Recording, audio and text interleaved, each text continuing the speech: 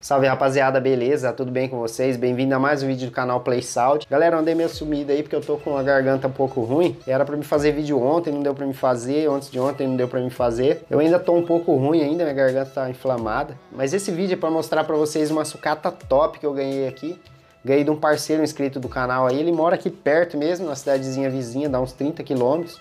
E ele sempre vem aqui uma vez por mês. O mês passado ele veio, me ofereceu um módulo TS1600 e um SS1 3600. Eu acabei comprando os módulos dele, tava num preço legal, acabei comprando os dois.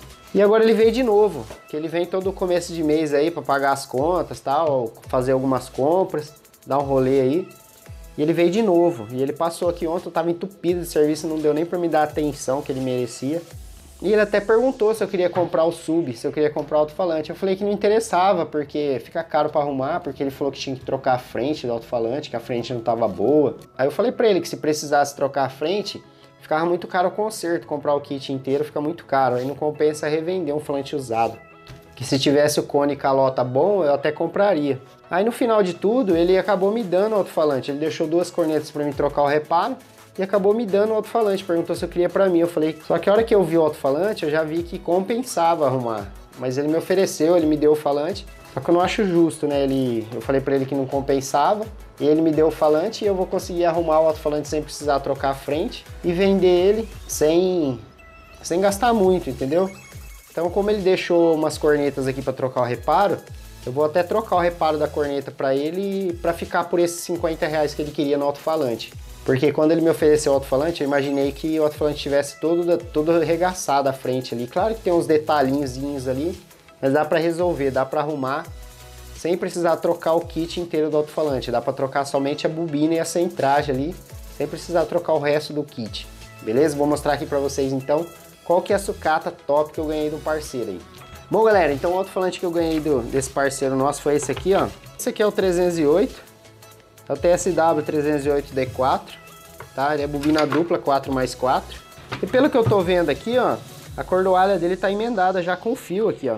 Fio de casa, fio de instalação elétrica. A cordoalha tá bem zoadinha aqui, ó. Pode ser que seja, pode ser que o problema dele seja isso. Talvez nem precise trocar a bobina. Mas eu vou desmontar aqui pra gente verificar certinho se realmente é a bobina ou se é só a cordoalha que tá danificada que a cordoalha tá bem curtinha aqui, você vê que ela já tá meio que, podre, meio que apodrecendo. E ele falou para mim que precisava trocar o kit, precisava trocar a frente que tava feia, mas realmente não precisa. Você vê que ele tá sujo. Essa borda aqui, ela tá toda descascada. Mas isso aqui é só uma tinta que tem nesses alto-falantes aqui que ela solta, ó. Você vê que a borda tá bem firme, ó. Então ela é, tipo, é como se fosse uma borda com uma malha trançada e ela vem uma tinta emborrachada por cima, que normalmente acontece em quase todos os falantes desse modelo, tá? Eu acho que todos descascam assim, ó. E aqui a gente pode passar uma tinta emborrachada e deixar ele bonitinho de novo, e somente trocar a bobina. Pelo que eu vi aqui, não vai precisar trocar a cara do alto-falante. Então nada mais que justo eu pagar os 50 reais né, que ele pediu no alto-falante. Mas como ele deixou duas cornetas aqui para trocar o reparo, que é duas cornetinhas simplesinhas, fazer a troca dos dois reparos de corneta dele para ficar a troco dos 50 reais que ele, que ele pediu no alto-falante. Beleza, galera?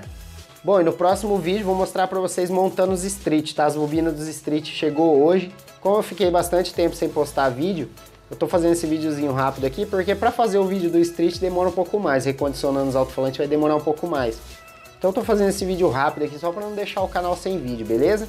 Então é esse o vídeo de hoje, espero que tenham gostado. Se gostou, já sabe, deixa aquele like, se inscreva no canal. Forte abraço!